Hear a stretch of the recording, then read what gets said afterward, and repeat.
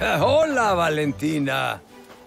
Me da mucho gusto verte. Estaba dando un paseo por el Palacio de Hielo mientras uno de mis duendes alimenta a los renos. Les estaba dando unos líquenes mágicos. Eso es lo que les permite volar. En cuanto hayan terminado, haré una sesión de vuelo de práctica con ellos alrededor del mundo.